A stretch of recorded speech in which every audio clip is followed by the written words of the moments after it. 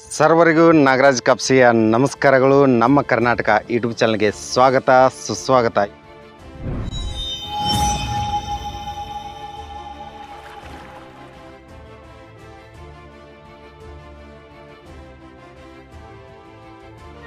ಕೋಟಿಲಿಂಗದ ಪಕ್ಕದಲ್ಲಿ ಏನಂದ್ರೆ ಒಂದು ಬೃಹತ್ ಬಂಡೆಗಳ ಒಂದು ಬೆಟ್ಟವನ್ನು ನಾವು ಕಾಣ್ತಾ ಇದ್ದೀವಿ.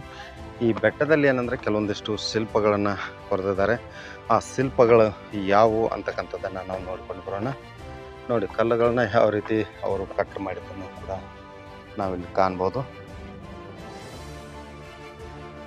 ಹಂಪಿಯಲ್ಲಿ ಇಂತಹ ಅನೇಕ ಏನಂದ್ರೆ ಅದ್ಭುತವಾದಂತಹ ಸ್ಥಳಗಳನ್ನು ಕೂಡ ನಾವು ನೋಡ್ಬೋದು. ಎಲ್ಲವನ್ನು ಬೆಟ್ಟ ಗುಡ್ಡಗಳಲ್ಲೇ ಏನಂದ್ರೆ ಒಂದು ಕೊರೆದಂತಹ ದೃಶ್ಯಗಳು.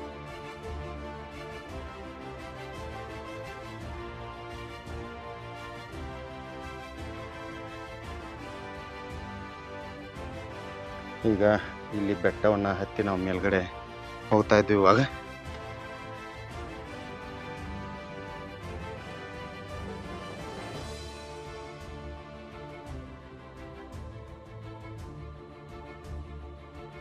ಇಲ್ಲಿ ಏನಂದ್ರೆ, ಮೇಲೆ ಹತ್ತಲು ಏನಂದ್ರೆ ಅತ್ಯಂತಹ ಚಿಕ್ಕದಾಗಿ ಮೂರು ಸ್ಟೆಪ್ಸ್ಗಳನ್ನು ಕೂಡ ಏನಂದ್ರೆ ಮಾಡಿದ್ದಾರೆ.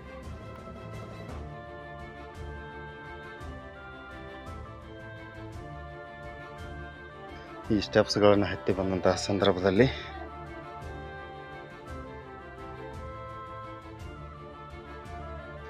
ಇಲ್ಲಿ ಅದ್ಭುತವಾದಂತಹ ಮಾತಂಗ ಪರ್ವತನ್ನು ಕೂಡ ನಾವು ನೋಡ್ಬೋದು. ಅತ್ಯಂತ ಎತ್ತರದಲ್ಲಿರ್ತಕ್ಕಂತಹ ಈ ಮಾತಂಗ ಪರ್ವತ. ವಿಶೇಷವಾಗಿ ಹಂಪಿಯಲ್ಲಿ ಮಾತಂಗ ಪರ್ವತ ಅನ್ನೋದ ಮೇಲೆ ನೀವು ಹತ್ತಿದ್ರಿ ಅಂದರೆ ಇಡೀ ಹಂಪಿಯ ಸಂಪೂರ್ಣ ಆ ಒಂದು ಏರಿಯಲ್ ವ್ಯೂವನ್ನು ನೀವು ಗಮನಿಸ್ಬೋದು. ಜೊತೆಗೆ ಚಕ್ರತೀರ್ಥ ಚಕ್ರತೀರ್ಥ ನದಿಯ ಆ ಕಡೆ ಇರತಕ್ಕಂತಹ ಆನೆಗುಂದಿಯ ಒಂದು ಋಷ್ಯಶೃಂಗ ಪರ್ವತ ಕರಿತೀವಿ. ಆ ಪರ್ವತವನ್ನು ನಾವು ನೋಡ್ತೀವಿ. ಅದರ ಪಕ್ಕದಲ್ಲಿ ಏನಂದ್ರೆ ಈ ಒಂದು ಬೃಹತ್ ಬಂಡೆಗಳ ಕೂಡ ಏನಂದ್ರೆ ಇಲ್ಲಿ ನಾವು ಗಮನಿಸ್ತಾ ಇದ್ದೀವಿ ನೋಡಿ. ಒಂದು ಬಂಡೆಗಳು ಹೇಗೆ ಸ್ವಲ್ಪ ಆಧಾರದಲ್ಲಿ ಏನಂದ್ರೆ ಒಂದು ಬೃಹತ್ ಬಂಡೆ ಹೇಗೆ ಮುಂಚಾಚಿಕೊಂಡು ನಿಂತಹ ದೃಶ್ಯ ಇದು.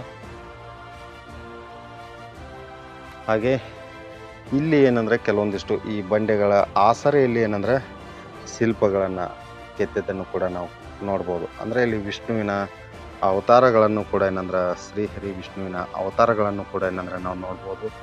ಮತ್ಸ್ಯ ಅವತಾರ, ಕುರ್ಮಾ ಅವತಾರ, ಎಲ್ಲ ವರಾಹ ಅವತಾರ, ಎಲ್ಲ ರೀತಿ ಏನಂದ್ರೆ ನರಸಿಂಹನ ಅವತಾರ, ವಾಮನ ಅವತಾರ, ರಾ, ಶ್ರೀರಾಮನ ಅವತಾರ ದಶ ಅವತಾರಗಳ ಶಿಲ್ಪಗಳನ್ನು ಕೂಡ ಏನಂದ್ರೆ ಇಲ್ಲಿ ಕೆತ್ತನೆ ಮಾಡಿದ್ದಾರೆ. ಜೊತೆಗೆ ಇಲ್ಲಿ ಅನೇಕ ಏನಂದ್ರೆ ಶಿಲ್ಪಗಳ ಸಾಲುಗಳನ್ನು ಕೂಡ ಏನಂದ್ರೆ ಕೆತ್ತಿದ್ದಾರೆ. ಇವೆಲ್ಲ ಶಿಲ್ಪಗಳು ಏನಂದ್ರೆ ಶ್ರೀಹರಿ ವಿಷ್ಣುವಿಗೆ ಸಂಬಂಧಪಟ್ಟಂತಹ ಒಂದು ಶಿಲ್ಪಗಳು ಇವು. ನೋಡಿ, ಅದ್ಭುತವಾಗಿ ಶಿಲ್ಪಗಳನ್ನು ಕೆತ್ತನೆ ಮಾಡಿ ಮೇಲ್ಭಾಗದಲ್ಲಿ ಏನಂದ್ರೆ ಒಂದು ಶಾಸನಗಳನ್ನು ಕೂಡ ಏನಂದ್ರೆ ಉಲ್ಲೇಖ ಮಾಡಿದ್ದನ್ನು ಕೂಡ ನಾವು ಗಮನಿಸ್ತೀವಿ. ಅದ್ಭುತವಾದಂತಹ ದೃಶ್ಯ ಇದು. ಹಂಪಿಗೆ ಬಂದಂಥ ಅನೇಕ ಪ್ರವಾಸಿಗರು ಇಂತಹ ಒಂದು ಅದ್ಭುತವಾದಂತಹ ಸ್ಥಳವನ್ನು ನೋಡಲೇಬೇಕಾದಂತಹ ಸ್ಥಳ ಇದು.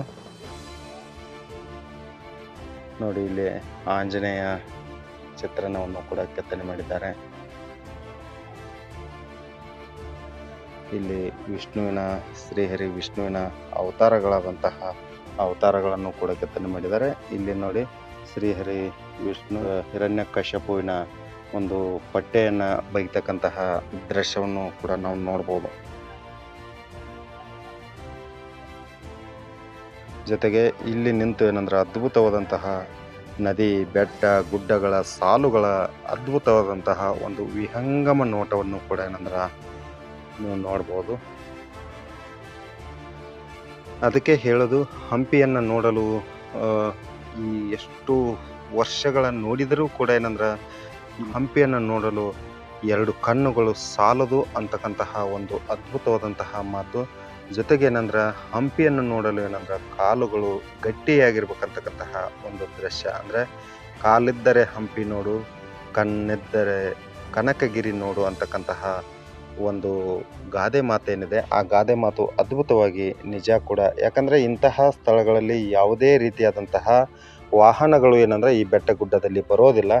ನಿಮಗೆ ಬರಬೇಕಂದ್ರೆ ಆ ಒಂದು ತೆಪ್ಪ ಇದೆ ನೋಡಿ ಅಲ್ಲಿ. ತೆಪ್ಪ, ನದಿಯಲ್ಲಿ ತೆಪ್ಪವನ್ನು ಇದನ್ನು ಮಾಡ್ಕೊಂಡು ಹೋಗ್ತಾ ಇದ್ದಾರೆ. ಅದೊಂದು ಮಾತ್ರ ಏನಂದ್ರೆ ಬರುತ್ತೆ. ಅದು ಏನಂದರೆ ಈ ಒಂದು ಬೆಟ್ಟದ ಮೇಲ್ಗಡೆ ಎಲ್ಲ ಬರೋದಿಲ್ಲ. ನದಿಯಲ್ಲಿ ಮಾತ್ರ ಬರ್ತಾ ಇರುತ್ತೆ. ಪ್ರವಾಸಿಗರನ್ನ ಕರೆದುಕೊಂಡು ತಾವು ಕೂಡ ಬರ್ಬೋದು ಅಂತಹ ಒಂದು ತೆಪ್ಪದ ಮೂಲಕ ಬಂದು, ಆದರೂ ಕೂಡ ಏನಂದ್ರೆ ತಾವೆಲ್ಲರೂ ಏನಂದ್ರೆ, ಈ ಒಂದು ಬೆಟ್ಟ ಗುಡ್ಡಗಳ ಮೂಲಕ ನಡೆದಾಡಿಕೊಂಡೇ ಏನಂದ್ರೆ, ಈ ಒಂದು ಅದ್ಭುತವಾದಂತಹ ಪ್ರಕೃತಿ ಮಧ್ಯದಲ್ಲಿ ಇರತಕ್ಕಂತಹ ಅನೇಕ ಏನಂದ್ರೆ ಪೌರಾಣಿಕ ಹಿನ್ನೆಲೆಯುಳ್ಳ ಶಿಲ್ಪಗಳನ್ನು ಕೆತ್ತನೆ ಮಾಡಿದ್ದಾರೆ.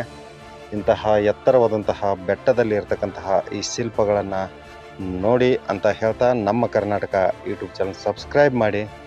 ಜೊತೆಗೆ ಹಾಗೆ ಪಕ್ಕದಲ್ಲಿರ್ತಕ್ಕಂತಹ ಬೆಲ್ ಐಕನ್ನ ಹೊಡಿರಿ ಅಂತ ಹೇಳ್ತಾ ಇವತ್ತಿನ ಈ ಸಂಚಿಕೆಯನ್ನು ಮುಗಿಸ್ತಾ ಇದ್ದೀವಿ.